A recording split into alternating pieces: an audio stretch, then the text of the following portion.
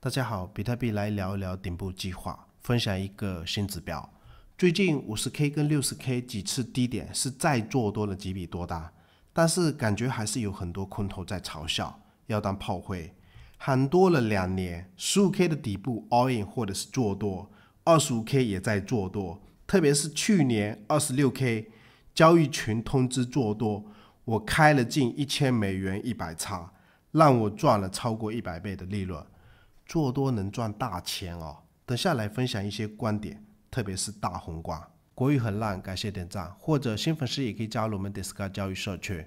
另外，如果你正在考虑交易加密货币，个人推存可以使用 OKX 交易所，它是全球最大的加密货币交易所之一，而且业界公认客户资产储备是最高的。视频下方有我的 OKX 邀请注册链接，现货合约交易手续费永久返佣百分之二十。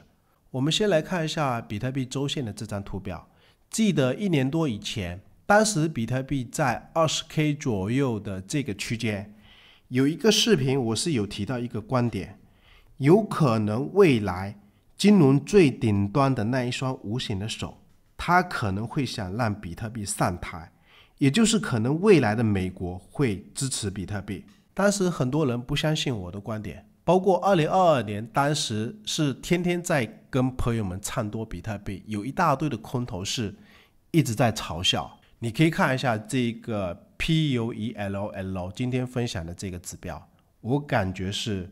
非常的神奇哦。因为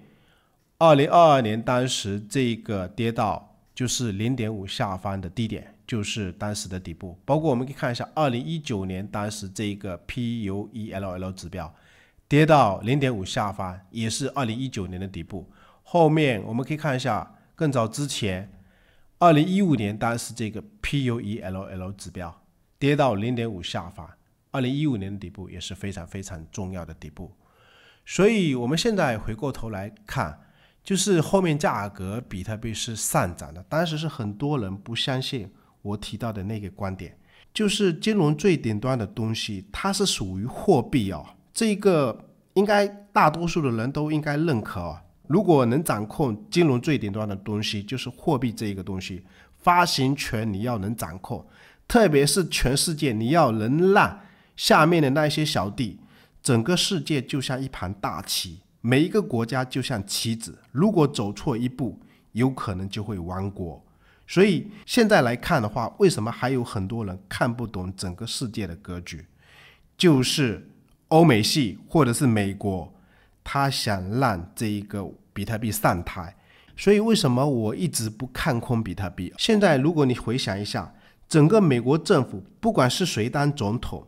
为什么会有一个特朗普总统在力挺这个比特币？他如果背后没有那么大的一个黑手在支持他，你觉得他敢在明面上一直在就是支持比特币吗？包括我们想一想，就算不管谁当总统。美国目前的执政者，原先拜登政府他是不支持比特币的。那为什么后面包括 SEC 也是一下子上了十几只比特币的 ETF 在美国上市？所以很多人还是看不懂世界的格局。全球那一双黑手，他想让比特币登上金字塔的最顶端哦。所以我们来看一下比特币现货 ETF。截止到十月四号左右的，目前美国那边前十几只比特币现货 ETF 整个持仓的数量啊，比如贝莱德目前是接近三十七万枚的比特币，或者是灰度是接近二十二万枚，包括富达的比特币目前是十八万枚。你可以去统计一下，只要统计这个现货比特币 ETF 目前的持仓数量。从这个位置，我刚刚是有简单加了一下，目前是上市不到一年的时间，已经是买了接近一百万枚的比特币，还没有加上微策略的二十三万枚。所以我们想一想啊，连全球最大的经济体目前都在把比特币作为战略储备，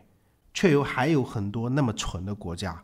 他们是在储备什么？比如大陆政府目前储备的。货币主要还是美元，好像截止到二零二四年上半年的一个数据，目前大陆政府外汇储备是三万亿左右。然后这几天也是有看到一则消息，也是同样在抵制比特币的印度政府，他们的外汇储备是连涨了七周，目前已经达到七千亿美金。所以我个人是觉得，最好不要跟全球最大的经济体，他们是在力挺比特币，但是还是看到有很多小散在看空比特币。不要看到比特币因为上涨了，或者是就认为它有可能会下跌。虽然短期涨多了，有可能会有一些短线的下跌，但是整个大长线利润全部都是躲在长线的利润里面哦。包括我们可以看一下，那刚刚跟大家提到这个 PUELL 指标，历史上逃顶也是非常好用啊，而且包括它的周期，从这个指标来观察是非常非常的明显，它。二零二二年当时的底部这边是跌到零点五附近，有一次很大的积累，然后积累完以后，它在减半之前会有一次上涨，可能接近两倍到三倍。这一次是到七十四 K 的高点。那我们可以观察一下，二零一九年当时底部积累完以后，然后比特币涨了接近三倍，这个高点我们可以观察一下，同样也是这一个指标，它来到高点以后，后面。有一次下跌，包括后面在这个位置，美国总统选举的这个盘整区，可以观察一下疫情跟美国总统选举的这个区间，或者是这整个区间。如果我们单看指标，有没有明显的感觉？它有一次底部上涨以后，或者是有一个盘整的周期是非常非常的长，但是后面总统选举完以后，你可以观察一下比特币上涨，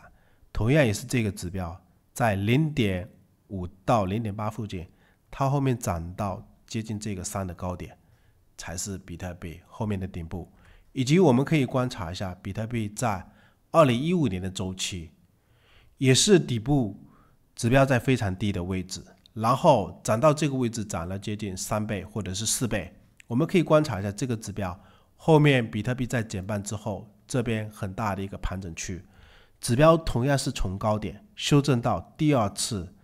接近这个零点五，大约是在零点八附近的这个积累区，所以周期是非常的明显，爆发出来的力道是非常非常的恐怖，非常非常的给力啊！所以我们可以观察一下，一五年是这样子，二零一九年到二零二一年也是这样子，来到三以上是一个顶部。那我的观点，这两年，如果你听我的大格局，有听我的建议，或者是知道整个世界的格局目前是在改变。